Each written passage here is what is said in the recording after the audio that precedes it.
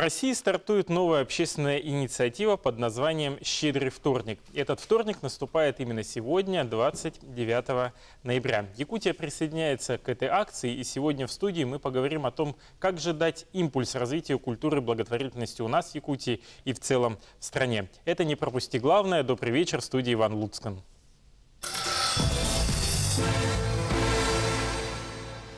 Перед тем, как приступить к диалогу с гостями нашей студии, я предлагаю посмотреть сюжет. Азалия Петухова перенесла в свои пять лет то, чего не испытал, наверное, любой взрослый человек. Операции после разрыва опухоли почки, несколько курсов химии, лучевой терапии, теперь рецидив в виде метастазов в легкие. Все, что сейчас окружает девочку, больничная палата, врачи и мама. Несмотря на временное поражение в борьбе с болезнью, они не теряют надежды. Мы после химии ну, в Москву должны лететь. Но это уже у нас третья будет поездка в Москву. И денег не хватает.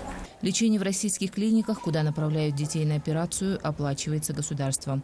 Но финансовая помощь необходима родителям, которые зачастую не работают, ухаживая за детьми. Им нужно снимать жилье, на что-то жить. Подающий надежды в спорте Гриша Александров мечтал принять участие в играх «Дети Азии». В прошлом году на тренировках повредил колено. Думали, перелом, оказалось все намного серьезнее – опухоль кости. Ногу ампутировали, несколько курсов химиотерапии, затем удаление метастазов в легких. Борцовский характер мальчика удивляет даже многое повидавших докторов. Операция? Самой сложной для меня была операция. Основную химиотерапию выдержал. Было тяжело, меня рвало. Главное сейчас выздороветь. Четырехлетний Саша Дроздович гоняет на своем велике по больничному коридору, но по первому зову медсестры послушно ложится в кроватку, чтобы получить нужную для него сейчас систему. В прошлом году у мальчика диагностировали опухоль заднего средостения. А недавно, после ремиссии, вновь рецидив. Метастазы обнаружили уже в головном мозге. Лечение по эффективной экспериментальной методике, на которую надеется мама мальчика, стоит не один миллион рублей и проводится только в зарубежных клиниках. Мы надеемся, что Мир же не без добрых людей. Может быть, и улетим. Может быть, как-нибудь, когда соберем, каким путем эти деньги. В Якутии ежегодно онкологический диагноз ставится в среднем 20 детям. Лечение каждого из них занимает от 1 до 5 лет. Дети нуждаются не только в медицинской помощи, но и в помощи своих родителей, родственников, окружающих. И при хорошем лечении, уходе отношению к ребенку. Большинство из них выздоравливает. Помощь онкологическим больным в последние годы стала намного эффективнее именно благодаря благотворительным организациям. И от неравнодушия каждого из нас зависит жизнь этих детей, только начавшиеся, но уже испытавшие боль и страдания. Туяра Филиппова, Василий Слепцов, НВК «Саха», Якутск. Ну, наверное, мой первый вопрос будет, Алена Николаевна, вам. Все-таки как мы можем помочь этим детям? Добрый вечер, уважаемые телезрители, уважаемый Иван, уважаемые гости. Ну, замечательно, что стартовала такая акция, и очень хорошо, что наша республика присоединилась к этой акции. И я думаю, что эти сюжеты, которые сегодня мы увидели о троих детях, к сожалению, их больше, просто мы с врачами выбрали тех детей, которые особо больше нуждаются сегодня. И я думаю, что вот благодаря тому, что Якутия взялась за этот проект, и сегодня впервые проходит, и то, что Министерство гражданских инициатив поддержало, национальная вещательная компания, думаю, что будет реальная помощь этим конкретным детям. Ну, в этом году исполняется 15 лет благотворительному фонду «Праздник жизни». Это родительская организация, некоммерческая. Конечно, очень морально сложная работа, потому что у каждой семьи своя история. Получается, вот, ну, государство, конечно, поддерживает. Лечение у нас бесплатное. Благодаря вот э, новому министру а, Михаилу Хлопкову сейчас детей старше 15 лет стали принимать в отделении детской онкологии. То есть дети сейчас лечатся.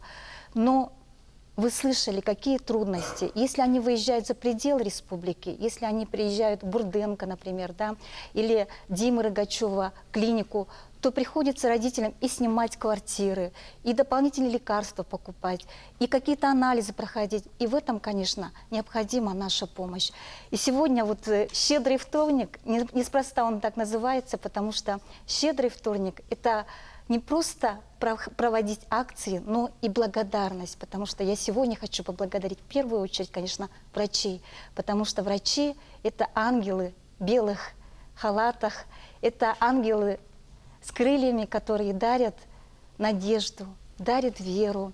И они спасают детей, что дети сейчас, после того, как они выздоравливают, не только вот а, становятся, скажем так, полноценными членами общества, да, они поступают учиться. История 15 лет очень большая, и сейчас у нас дети поступают учиться в учебные заведения, высшие учебные заведения, создают семьи, у нас две семьи есть. Это очень хорошо. И когда они в Москве вот уже третий раз участвуют в благотворительных акциях, в играх победителей, да, то уже получается, что они не только побеждают болезнь, но еще становятся вот, ну, борцами. Вот у нас есть в студии мама Саша Александрова, Гриша Александрова. Расскажите, с какими трудностями вы столкнулись и какая помощь сейчас необходима сыну? А, У нас это остеосаркома э, малоберцовой кости голени. И ампутировали ногу в прошлом году. И метастазы тоже брали в прошлом году. И в этом году тоже. Но э, рецидив опять появились а, метастазы в легком. И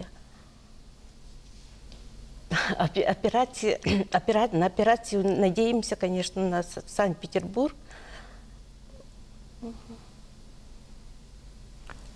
Пока, пока еще неизвестно. А какие-то стоимостные характеристики уже есть? Сколько стоить будет операция? Ну, операции сейчас в Санкт-Петербургу, если поедем, то бесплатно будет. А, конечно, э, ребенка только заберут в больницу, а я же все равно буду снимать квартиру и там жить. И сколько времени там будем, неизвестно. Вот как раз только что на экране были реквизиты фонда «Праздник жизни». Я так понимаю, что можно а, тем, кто пожелает, меценатам, участвовать в нашей акции «Щедрый вторник» и перечислять на помощь нуждающимся именно на этот счет. Вот к врачу вопрос, да. А, Сейчас э, вот показали э, трех детей, да, которые вот больше всех сейчас нуждаются в помощи. Эта помощь только ли финансовая или же нужна какая-то еще другая помощь от меценатов? От меценатов, ну, детям нужна больше, наверное, финансовая помощь. Да. А так, э, у нас кроме троих детей еще есть трое в данный момент с рецидивами тоже. Им тоже нужна помощь, они химиотерапию только начинают. А наблюдается ли рост какой-то онкологической патологии за последние годы? Вы какой-то анализ Ну, проводили? В среднем по Якутии заболевает 20 детей в год. Из них лейкоза на первом месте, рак крови, и опухоли головного мозга на втором месте. А, Людмила Лесовна, все-таки Министерство здравоохранения республики оказывает посильную помощь, уже об этом было сказано. Но если ее конкретизировать, в чем именно она выражается? Медицинское сопровождение вот таких детей с онкологической патологией, оно, конечно, сегодня достаточно четко а, налажено и в республике, и в Российской Федерации. То есть дети получают диагностику, а, если надо, они получают весь спектр лекарственных препаратов, в том числе по химиотерапии, проходят это лечение по международным стандартам, то есть эти протоколы, они на уровне всего э, мирового сообщества разработаны. Если надо сопровождение или направление в медицинские клиники Российской Федерации, то это тоже проводится в полном объеме. Сегодня есть ряд э, других проблем, которые касаются социального сопровождения. Вот сегодня говорили, во-первых, если выезжают родители за пределы да, республики, то, понятно, необходимо оплачивать проживание. Это не в программу госгарантии, оно никуда не входит, поэтому, естественно, со стороны органов исполнительной власти это поддержано быть не может. Э, Вторая достаточно серьезная проблема, когда дети проходят химиотерапию, в любом случае, и у них продлевается срок жизни, дети живут, но им необходима реабилитация. Сегодня условия для такой реабилитации, естественно, ни мы, э, ни Э, система здравоохранения предоставить не может. То есть мы не говорим о санаторно-курортном лечении, хотя есть дети, которые уже выходят, которые находятся в ремиссии, их надо поддержать. А, им сегодня противопоказано санаторно-курортное лечение, но тем не менее какой-то отдых а, он может быть организован. И, конечно, он может быть организован за счет каких-то дополнительных финансовых средств, которые идут из других источников. И, наверное, самая а, большая проблема – она имеет место быть, хоть я и говорю о том, что действительно мы лечим по международным протоколам, но иногда э, бывает необходимость, и это бывает чаще всего последняя надежда родителей, э, у них есть желание, это последняя, как бы сказать, может быть, просьба да, от нас, от органов исполнительной власти, о том, чтобы все-таки они верят, что ребенок будет жив, они хотят, что он будет жить, они просят проезд за границу. Это тоже делается только через Министерство здравоохранения Российской Федерации. И понятно, что это решение принимается крайне-крайне редко. Вот за последние 10 лет я знаю только один случай, когда мы отправили ребенка за границу вот официальным путем. А остальных у нас а, возможностей источников нет. Поэтому сегодня то, что касается протоколов лечения, да, просто сопровождения, это все выполняется. Но есть ряд функций, которым нужна детям. Они должны понимать, что они нужны обществу что общество о них заботится. Просто одной медицинской помощи для этих детей мало. Вот вы сказали об обществе, и вот, Алена Николаевна, все-таки есть те меценаты, которые регулярно помогают? За 15 лет, конечно, благодаря только очень добрым людям мы работаем и поддерживаем семьи с онкологически больными детьми. Конечно, в первую очередь «Щедрый вторник» я хотела поблагодарить а, наших друзей. А, это Металлторг, который уже, ну, скажем, 7 лет помогает и оплачивает зарплату нашему сотруднику, потому что ну, надо снимать ящики, очень большая работа, общение с родителями, да, и очень много благотворителей, которые создают комфортные условия лечения в отделении. Это стиральная машина, холодильник. То есть, чтобы родители, которые приехали из улусов чувствовали себя как дома. И Это очень важно. время как раз. Да. Еще кого-то хотите поблагодарить? Обязательно. Хорошо. Тогда предлагаю небольшое время прерваться на рекламу, и потом продолжить диалог в нашей студии как раз по благодарности.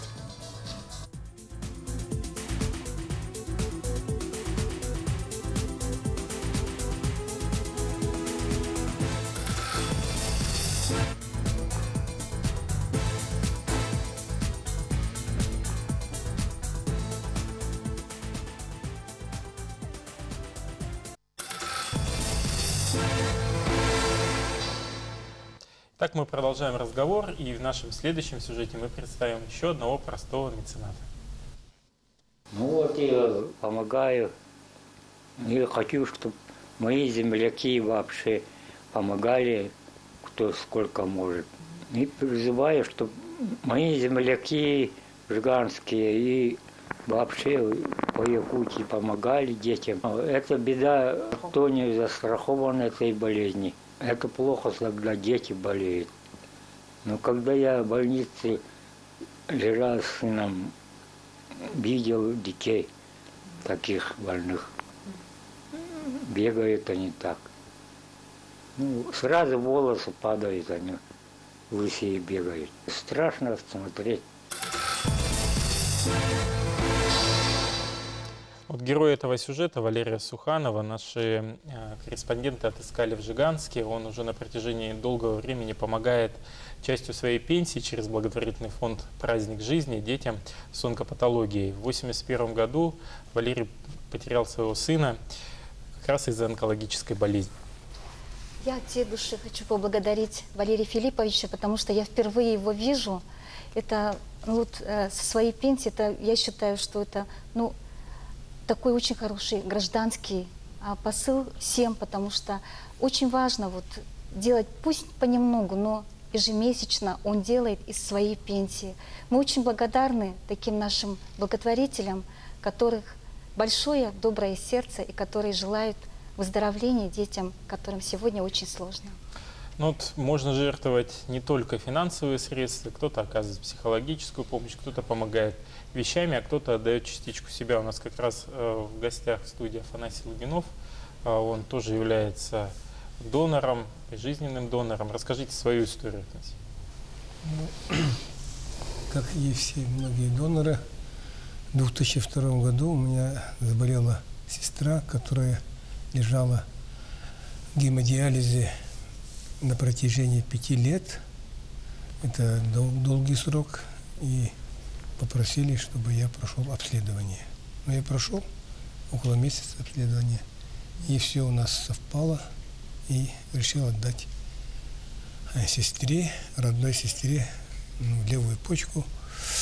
И этот, ну, как сказать, матери четырех детей – Сейчас у нее шестеро внуков, живет счастливо уже 14, 14 лет уже.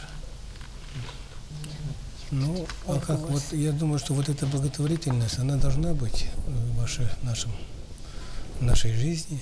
Кто такому должен помогать, обязательно вот это доброе сердце должно быть, я думаю. Но она вот воплощается вот. Но я когда заведующим отделением Николаев Александр Владимирович меня иногда просил приходить, там многие, но есть подготовленные э, этот, пары, ну как вот эти, как называется, доноры, этот, но психологически немножко боятся, ну где-то, как да. получится результат и так далее. И он меня приглашал, вот давай вот Афанасий Афанасьевич, давай проведи работу с ним как ты вот после этого себя чувствуешь? Я чувствую себя прекрасно, надо сказать. Ну, и до сих пор, ну, я работаю, надо сказать, создаю свою частную спортивную школу в пригороде. А, ну, занимаюсь детьми, даже тренируюсь, тренирую их. А, и, ну, и даже вот занимаюсь строительством. В общем, все могу делать. А вот как вы, допустим, Веду здоровый образ жизни. Еще я хотел бы я сказать, у меня сестра, вторая сестра имеет, ну как, это, этот, э, от трупного Дон. ну, донора, донора от трупного донора уже живет уже 19 лет э, и тоже вот поддерживает здоровый образ жизни. Это я считаю, что довольно, ну, очень хороший срок. И вот как-то вот у нас так получилось, что... Ну, вот, Анастасий, а вот все-таки вы как относитесь к тем людям, которые скрывают о том, что они благотворители? Вот по данным, 52 миллиона человек участвуют в благотворительных проектах, и из них 43 миллиона об этом молчат. Они скрывают о том, что они помогли кому-то. Может быть, ну, наоборот, они бы своим примером бы сподвигли кого-то? Ну, скрывают, ну, это от человека зависит, наверное. Но я тоже ну, меня тоже многие не знали. Когда я вот, а вот есть сейчас вот такая акция, вот а, ко мне вот подошла Наталья Каратаева, а вот она тоже два года назад получила от а, отца почку и живет сейчас, ну, так, даже руководить этим делом, общественным движением, и считаю, что неплохо. А, и этот, а, вот, а, она вот просит, давай, говорит, давай. Ну, я еще рад ну, помочь в этом деле. Именно вот финансами не могу, сам как-то у нас создаю свою, свою частную спортивную школу, очень много трудностей. Она у меня называется «Реал Надежда». Ну, я вообще-то в жизни вторую школу открываю как-то в этом городе Нерюнгере открыл спортивную школу еще в 89 году. Оттуда вышли столько мастеров и международного класса, членов сборной команды, команды России, ну, Союзов в то время были. А потом, а сейчас вот здесь э, уже на пенсии, все равно я не сижу и что-то двигаю и делаю. Вот у нас на экране как раз, э, опять же, мы напоминаем счет для помощи онкологическим больным детям фонда «Праздник жизни». Желающие могут принять участие в нашей акции и перевести туда средства. Но опять же, возвращаясь к тому, что не только средствами можно помогать, у нас в студии и молодежные добровольческие проекты, молодежь у нас всегда говорит, денег нет, но мы поможем своим добрым сердцем, да, какими-то волонтерским движением. Вот что вас привело к этому? Всем здравствуйте, я Гуринов Максим, руководитель добровольческого центра по ПОСу УФУ. Да, не только материально можно помогать а, людям. Например, наш добровольческий центр, а, активисты ППОС не раз бывали в детском онкологическом отделении. Мы, могу сказать, что на днях были там, и а, что мы можем сделать для них, так это принести хорошее настроение. То есть, чтобы люди не думали только о болезни, не уходили в себя. Мы приносим хорошее настроение, праздник. То есть мы э, э, играем с ними в игры, водим хороводики, да, поем песни. Э, мы проводим мастер-классы. Вот на днях мы проводили мастер-класс по э, изготовлению новогодних игрушек, ну, handmade, да. Э, у детей было очень хорошее настроение. Ну и также мы, конечно же, с пустыми руками не приходим. Мы дарим какие-нибудь подарочки для них. А вот что именно вас лично сподвигло заниматься благотворительностью? Ведь не каждый молодой человек или девушка готовы на это. Вообще э, волонтерство, оно приносит удовольствие человеку. Потому что у каждого человека есть такие чувства, как сострадание, э, переживание, сочувствие друг к другу. Вот, и я считаю, это самое главное качество, которое должны быть в человеке. Ульяна, вы культурно-массовый сектор, да, да. ППОС? Всем добрый вечер. Я Ульяна Иванова, председатель комиссии по культурно-массовой работе ППОС УВУ «Точка кипения». И помимо того, что, мы проводим вот культурно-массовые мероприятия в СУФУ, мы еще и занимаемся тоже добровольческим делом. Например, э, недавно, вот 29 октября, мы провели э, тематический вечер в помощь студентке финансово-экономического института. И, и у нас вообще каждый год проводятся конкурсы красоты в факультетах, институтах, и в основном они все у нас благотворительные. Э, примерно сумму собирается примерно 100 тысяч, э, возможно, даже больше. И все они передаются детям и людям, которым вообще нуждается помощь. Да? Помимо этого, наши студенты постоянно выезжают на тимуровские работы, постоянно помогают пожилым людям и тому подобное. И мне кажется, то, что среди молодежи э, заниматься добровольческими делами это очень, очень, это очень модно. Именно вот благотворительностью помогать и протягивать руки помощи тем людям, которые нуждаются. И с УФО э, на первом месте, скорее всего, у нас стоит именно вот добровольчество и волонтерство. А вообще вот много откликается молодежи или иногда приходится включать административный ресурс? Все идем помогать. Или есть те, кто искренне помогает? А, ну вот у нас, например, да, в ППОС УФУ у нас очень большая организация. Там состоят почти э, все студенты СУФУ. И мы никого не заставляем, все у нас э, идут добровольно, все помогают, и, ну, добро добром, как бы, поэтому никого никогда не заставляли. А что нужно сделать для того, чтобы молодежь активнее принимала участие, на ваш взгляд? Максим, может, Ульяна? А, ну, вообще, первостепенная цель волонтерства – это популяризация ее среди молодежи. А, ну, потому что за именно волонтерством стоит вообще ну, будущее, потому что именно волонтерство воспитывает такие качества, как ну, моральные и духовные. Вот. А, и наша цель, несомненно, стоит первая именно такая. Мы вообще а, делаем а, добровольческая деятельность, она неограниченная вообще. И ту помощь, которую можно сделать, она абсолютно любые подходы к ней именно есть. И всегда найдется тот человек, чьи возможности позволяют именно помочь в какой-либо деятельности. Например, если человек а, очень хорошо делает поделки своими руками, а, мы делаем какие-нибудь открыточки и пишем на них пожелания, даем в дом престарелых. Да? Им очень это приятно, потому что прежде всего для них не хватает именно внимания. Если, например, у нас какие-то студенты умеют делать ледяные скульптуры, вот в преддверии Нового года детские дома часто нуждаются именно в таких скульптурах. Если человек очень хороший аниматор – а, хорошо общается с детьми, он а, едет а, либо вот детишкам да, в отделение, либо в медцентр играется с ними.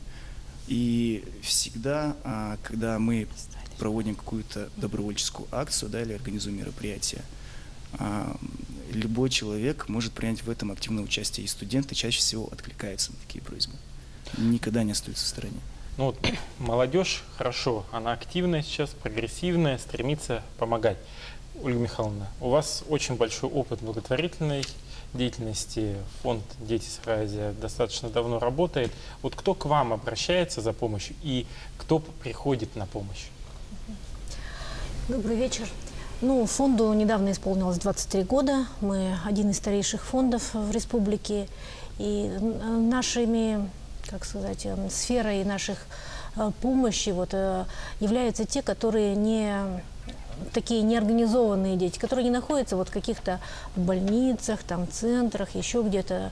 Это в основном дети, которые э, находятся в трудной жизненной ситуации, родители которых э, не, стоят вот на учете в полиции и вот такое. Вот я хотела бы рассказать о акции «Подари волшебство», которая стартует 1 декабря, это буквально послезавтра, в четверг, э, которую мы проводим 11 год. Да. Ольга Михайловна, я предлагаю сейчас об этой акции как раз после перерыва на рекламу поговорить. Не переключайтесь, оставайтесь вместе с нами. Это не пропусти. Главное на канале НВК Саха.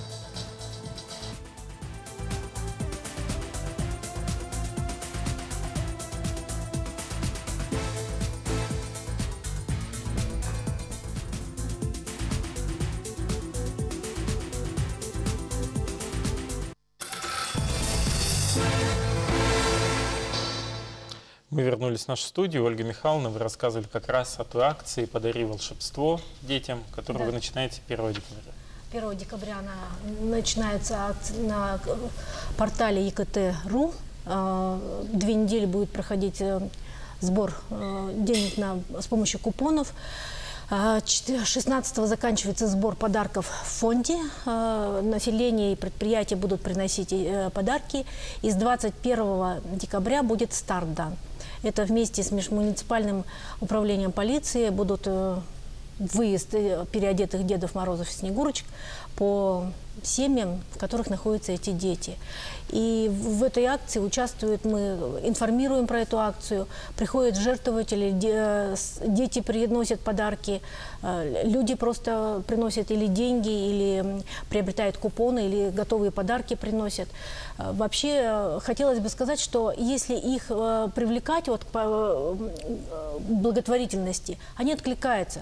Это нужно хорошо информировать по возможности населения, да, и обязательный отчет последующий должен быть о том, сколько было привлечено, сколько э, кому роздано, на что шла эта помощь. Э, в такой же акции подключаются, мы проводим к 1 сентября проводили, собери ребенка в школу, тоже для этой категории детей.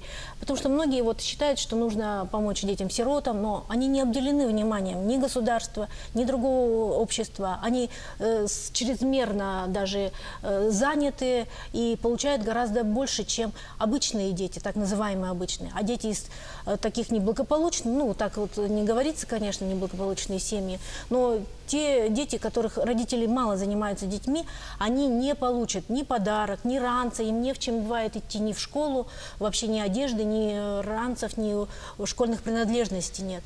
И поэтому вот э, организовать в этом мы вот ну, стараемся вот привлечь внимание общества, и чтобы оно подключилось, и свой такой душевный порыв э, оказать помощь какую-то посильную кому-то нуждающемуся, мы ну, стараемся реализовать эту вот раскрою такой. тайну, да, ровно два года тому назад я принимал участие в вашей акции. Это было в Жатае. Мы вместе с сотрудниками полиции, которые переоделись Деда Мороза Снегурочки, ходили по одному общежитию. Я сам напросился, чтобы угу. походить вместе с ними, чтобы посмотреть на реакцию детей. И действительно, вот это было очень трогательно. Они, во-первых, не ожидали. Да. К глубокому сожалению, мы встречали иногда и родителей в подвыпившем состоянии, да. но дети вот с искренней угу. радостью в глазах, вот это действительно очень трогало сердце. И спасибо вам за эту акцию. Да, в эту акцию подключаются и журналисты, и ну, и полицейские, наши сотрудники ездят, поэтому это очень благодарная такая акция, потому что мы сразу вот видим радость э, детей в глазах, и она нужна такая. Светлана, вот фонд «Обними жизнь», он занимается чем? Добрый вечер. У нас фонд, он немножко новый по сравнению с этим э, давно работающим фондом. Существуем всего второй год. У нас довольно специфическая работа, потому что фонд как раз занимается помощью взрослым больным. Например, в России есть известный такой достаточно фонд «Живой», который занимается именно помощью взрослым, а наш фонд именно специализируется на аутоиммунных заболеваниях, именно склеродермией. И по республике у нас статистика немножко печальная. Всего болеет 275 человек. Это в процентном соотношении. По всем странам, если смотреть, у нас довольно высокий уровень. Это тоже из-за климата, из-за каких-то генных вот, нарушений и всего этого у нас вот такая печальная ситуация. И еще тоже печальная ситуация, конечно, потому что по России, по статистике, взрослым больным помогают и всех, и всего числа благотворительных всего 1% населения. В первую очередь помогают, конечно, детям. И в первую очередь больным детям. Больным детям. И сиротам.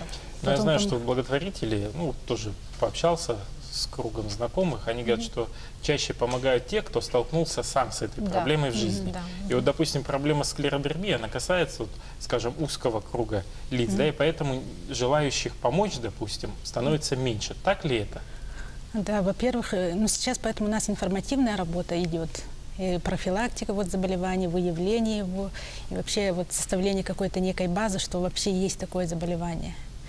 И ну, взрослым, да, вот так, печальная ситуация на пятом месте стоит. Сначала детям, потом э, пенсионерам, животным, экологии. И вот пятое место, к сожалению, занимает это взрослые больные.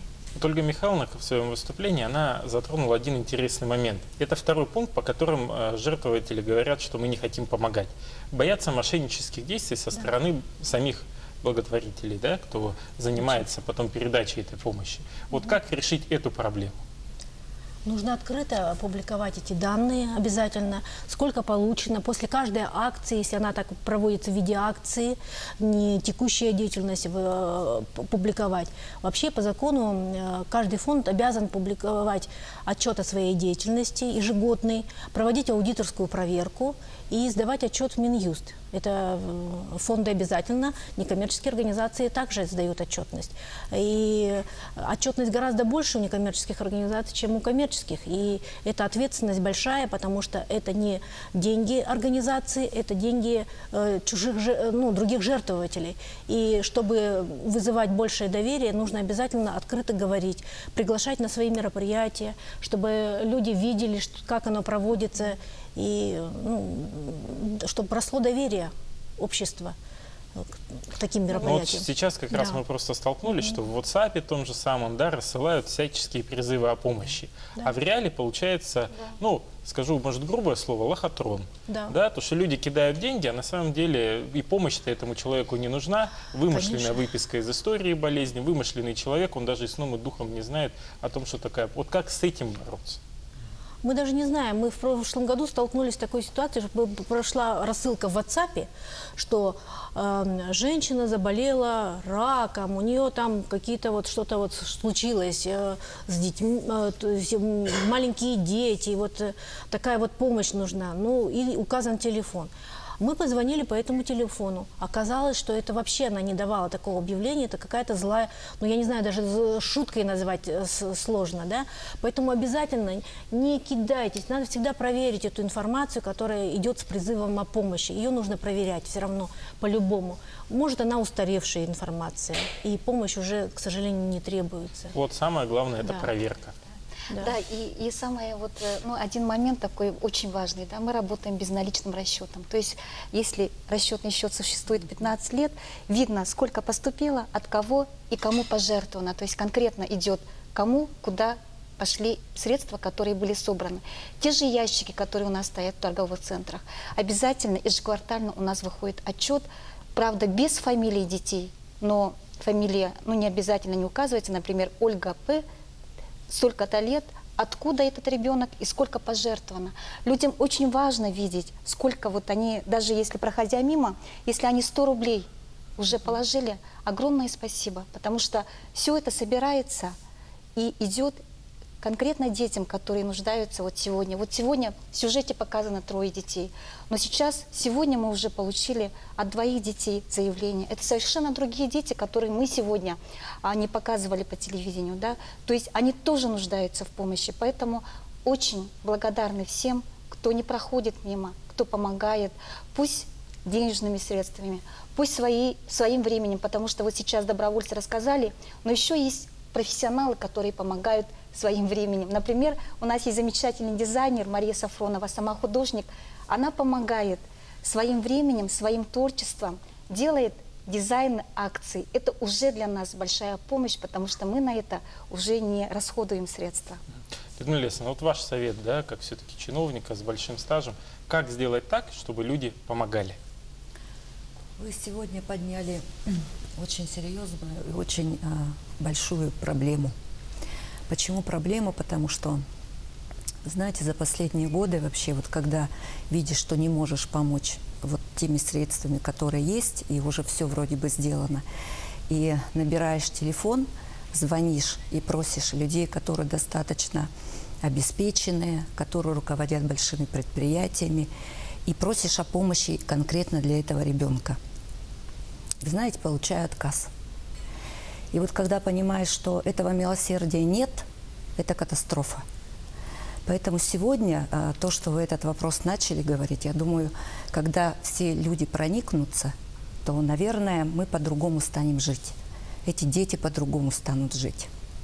И когда у каждого будет просто потребность чем-то помочь, потому что вариантов помочь очень много. Добрым словом, все что угодно, да? Но чтобы в обществе вот это была какая-то атмосфера, атмосфера милосердия. И вы знаете, мы лет восемь назад э, с Евгенией Исаевной Михайловой, она сегодня ректор Северо-Восточного федерального университета, поэтому я очень благодарна детям о том, что они эту акцию. Мы проводили эту акцию такую, да, подари, э, ну вот сердце отдаю детям. Мы тогда собрали очень-очень мало финансовых средств. Не, не так, как думали по телемарафону. Но самое интересное, что деньги, которые отдали, отдали простые пенсионеры, простые люди, И вот которые по 5 рублей этих простых людей собирали. Я сейчас предлагаю посмотреть вот на экране, поэтому да, которые вся активно сила, присоединились Вся сила в нас в обществе. к акции «Щедрый вторник». Сейчас мы покажем а, те слайды вот тех активных а, жителей, которые присоединились к различным благотворительным акциям в рамках проекта «Щедрый вторник». И я предлагаю вам всем тоже присоединиться к этой акции. Вот я сделал это до эфира, да, потому что это правда. Я действительно этим занимаюсь, и я откровенно об этом говорю, что я помогаю детским домам и инвалидам. Буквально в прошлом году я, допустим, выезжал в Капитоновский дом-интернат вместе с коллегами, врачами. И я думаю, что каждый из вас озвучил то, что тепло вашему сердцу. И мне бы очень хотелось бы, чтобы вот таких призывов становилось гораздо больше, чтобы вот таких людей, благотворителей, становилось больше, чтобы мы чувствовали вот это милосердие, исходящее от нас, и помогали ближнему, если он нуждается в помощи. Это было «Не пропусти главное». С вами был Иван Луцкан. Всего вам доброго. До свидания.